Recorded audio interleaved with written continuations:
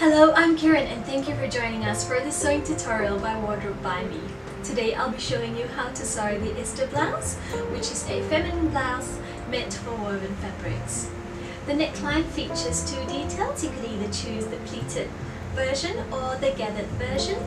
The sleeve is joined to the cuff by two options. You could choose pleats as I have done here or gathers and the top features two length options, one with a boxy hem and the other with For the purpose of today's tutorial, I will be showing you how to sew the pleated neckline, the pleated sleeve as well as the boxy hem. We hope you'll enjoy the sew. Let's get started.